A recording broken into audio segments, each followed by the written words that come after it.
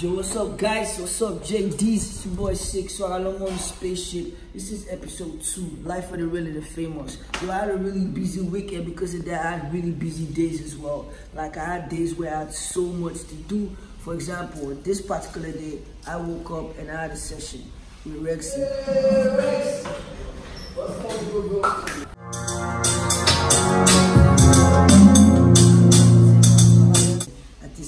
Same day, I had things I needed to do for my merch line because I, I put out a couple of designs and I'm trying to get prototypes, right? I'm going to be telling you guys a lot about that later while we go on and while we move on with the life of the really famous. So here's how the day starts. I pull up downstairs. Rexxie's already here. He's already working on the beat. I like that. Dope one. I had to get um, some designs and some merchandise over to Kaz, one of the creative directors of my of my merch line as well on the same day. So Check it out, six way.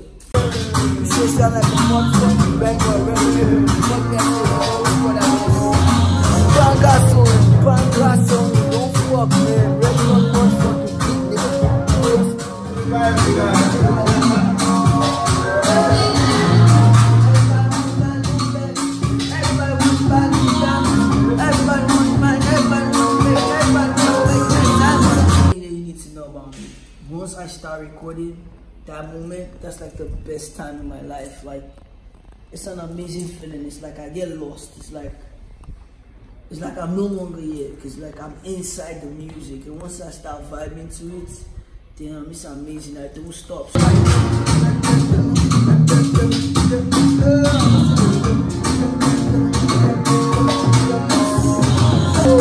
It's a boy, you got me, I come back, my Stop, yo man so once i get into the music i start to crazy like i don't know man music just like it's like music gets me high you feel me? So like i'm all pumped up and i just want to keep going and going and going till it stop but there's one thing about me you need to know too. I love food man. I love food. And because i'm an ulcer patient i don't play with food as well because i don't want to end up having attacks during sections or after sections you know what i mean? So it's food time.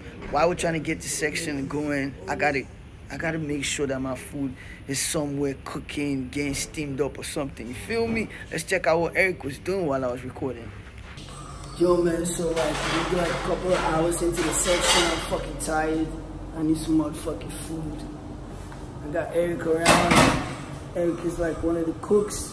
He always makes sure that he has like the best fried rice though. That's I like him. Today he's making fried rice.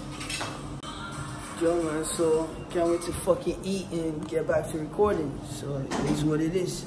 Six way.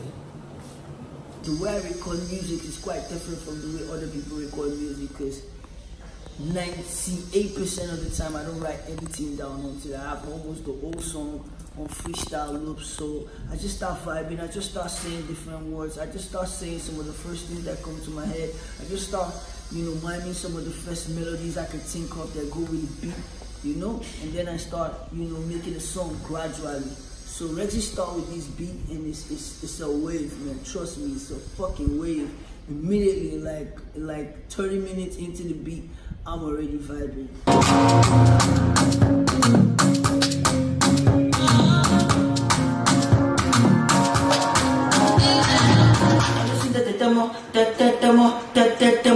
I listen at the demo, that that demo, that that demo, demo see me. Everybody want want my ass, oh. Everybody want want my puss. Everybody want to puff my ass, oh. Like, look, when you're making a hit song, there's an energy around the studio. There's an energy around the environment that just get it just gets people on their feet.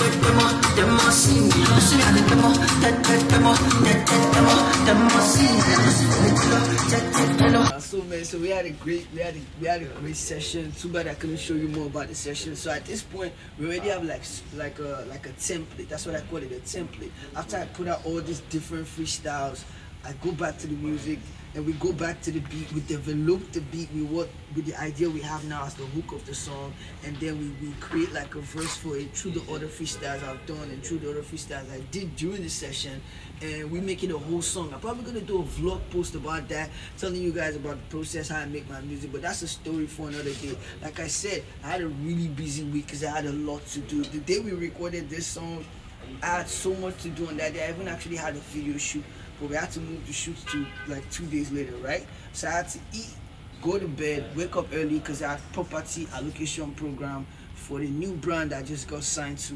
You know what it is, six feet. I'm gonna tell you all about that. Yo man, so we here now. Fucking him in a fucking hurry, man. See that shooter on my back right now shooting me. Always shooting everything. So yeah man on our way, pick up my manager. Next stop, the property allocation. That's what it is.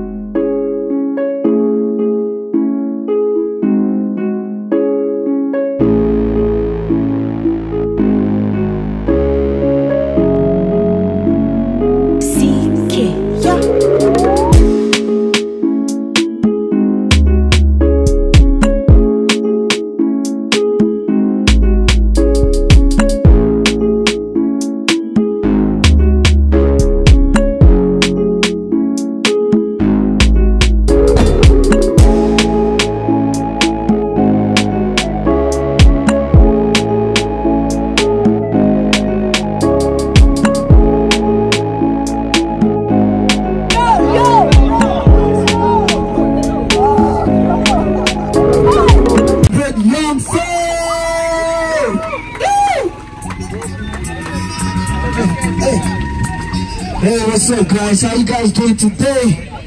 You're happy to be here today, make some noise for yourself. Check, check, check, check, check. So what's up, guys? What you just saw right now, um, in the last minute or rather in the last 40, 30 seconds, was a property allocation program by Revelation Properties, which is the new company I was signed to. Ignore my hair, I haven't done my hair. I haven't seen my dread guy in like in like a week, right? Because I've been a little bit too busy, right? I was just about to give a speech telling people about new things to invest in. One of the reasons why youths and one of the reasons why someone like me doesn't even have more than I have right now in terms of property wise is because I wasn't educated enough about you know properties and I didn't know that I could get it like this. So what Revelation Property does is like they're like the new age real estate companies. Like to me they're like the tech of real estate right? So what they do is they allow you grow properties not just buy properties which means you can buy properties in bits for as small as one square meter. You know what one square meter is? Like um, almost the size of my snooker board. So now what you can do is you, you don't even just have to pay once. For example a property on green island now is like what seven million right? For plots right? You can start with as small as 11,700 naira that's one square meter because uh, a plot of land is made up of 600 square meters, right? So that's what I was doing. I was educating people on how to get things with more substantial value. Over time, I've seen young men like me, you know, make small money, like maybe 10, 5 million, 3 million, even 1 million, even 500k, even 100k, and they're like, ah, property in this place is too expensive, maybe it costs millions, and I'm just 100k right now, plus I have to take care of myself or whatever. Guess what? You can start by buying a square meter and grow your property into a plot whenever time and, and whatever you know arrange you want. You feel me? So that's the whole idea about properties. Over time we get we get caught up with with materialistic things that have no substantial value. Property is the only thing that grows and appreciates when it comes to things of substantial value. So basically, man, that's what it's about. On the next episode, I'm gonna take you guys through a video shoot we had, and I'm gonna take you guys through the development process of one of my, you know, new singles as well. That's what it is, man. Keep it locked. It's six way. Life of the really the famous. JD.